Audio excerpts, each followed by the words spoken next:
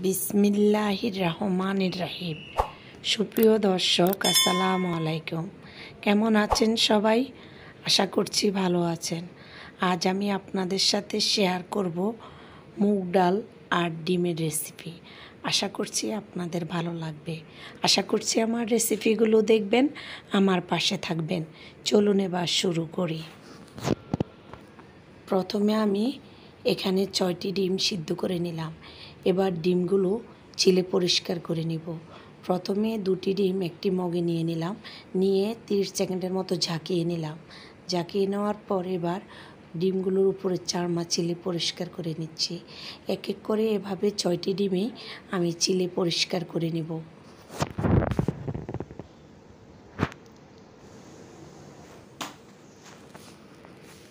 ডিমগুলো চিলে পরিষ্কার করা হয়ে গেছে। এখানে আমি এক কাপ ভাজা মুগ ডাল প্রায় পনেরো থেকে বিশ মিনিট ভিজিয়ে রেখেছি। এবার এগুলো ভালোভাবে কষলিয়ে ধুয়ে পরিষ্কার করে নিচ্ছি। এই ভাজা মুগ ডালগুলো ভালোভাবে ধুয়ে পরিষ্কার করে নেব। ডালগুলো ধুয়ে পরিষ্কার করা হয়ে গেছে। এবার এখানে চারটি আলু ছোট ছোট টুকরো করে কেটে নিয়েছি। এবার এগুলো ধুয়ে পরিষ্কার করে নিব।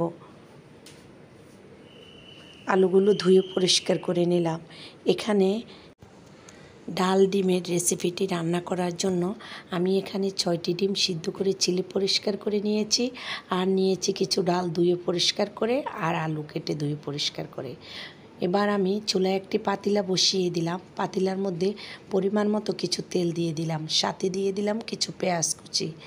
এবার সাথে দিয়ে দিলাম এক টেবিল চামচ রসুন বাটা আর দিয়ে দিব এক টেবিল চামচ আদা বাটা। তারপর দিয়ে দিব স্বাদ মতো লবণ। দিয়ে দিলাম। এবার আমি আদা বাটা, রসুন বাটা আর পেঁয়াজ কুচি হালকাভাবে ভেজে নিব। পেঁয়াজ যখন হালকা একটু নরম হয়ে আসবে, তখনই সাথে দিয়ে দিব ধুয়ে পরিষ্কার করে রাখা মুগ ডাল। ধুয়ে পরিষ্কার করে রাখা মুগ ডাল সাথে দিয়ে দিলাম। এবার দিয়ে দিব ধুয়ে পরিষ্কার করে রাখা আলু।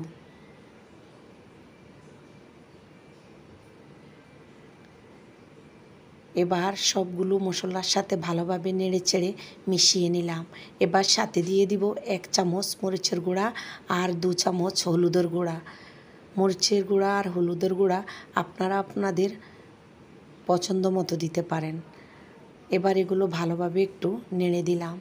এবার ডাল আর আলু ভালোভাবে একটু কষিয়ে নিব। সাথে দিয়ে দিলাম এক চামচ জিরার গুঁড়া।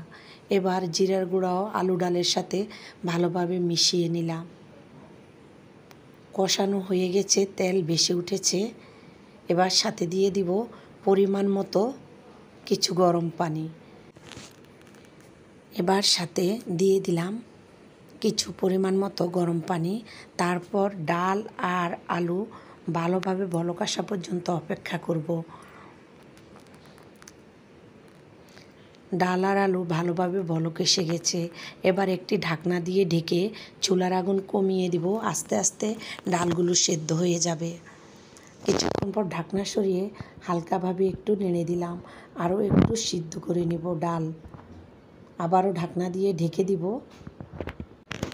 আবারও কিছুক্ষণ পর ঢাকনাটা সরিয়ে দেখলাম ঝোল কমে গেছে, ডাল, আলু পুরোপুরি সিদ্ধ হয়ে গেছে।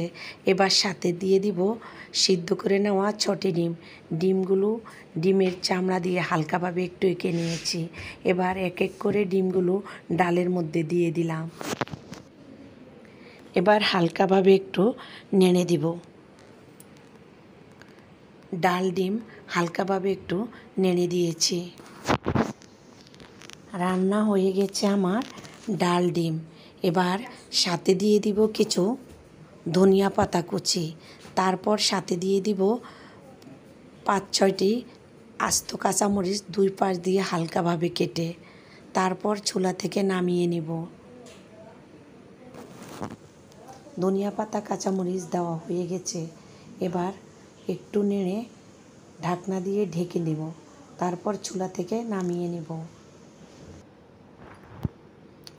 এবার পরিবেশনের জন্য একটি বাটির মধ্যে নিয়ে নিলাম কিছু ডাল ডিম। আমার রেসিপি আপনাদের যদি ভালো লাগে প্লিজ আমার চ্যানেলটি সাবস্ক্রাইব করবেন। যারা আমার চ্যানেলটি সাবস্ক্রাইব করেছেন, তাদেরকে অসংখ্য অসংখ্য ধন্যবাদ। আর যারা এখনও আমার চ্যানেলটি সাবস্ক্রাইব করেননি প্লিজ আমার চ্যানেলটি সাবস্ক্রাইব করবেন। লাইক কমেন্ট এবং শেয়ার করবেন। আর যদি কোনো ভুলভ্রান্তি করে থাকি, ক্ষমা সুন্দর দৃষ্টিতে দেখবেন। সবাই ভালো থাকবেন সুস্থ থাকবেন। আমার পরিবারের জন্য দোয়া করবেন। আসসালামু আলাইকুম আল্লাহ হাফেজ।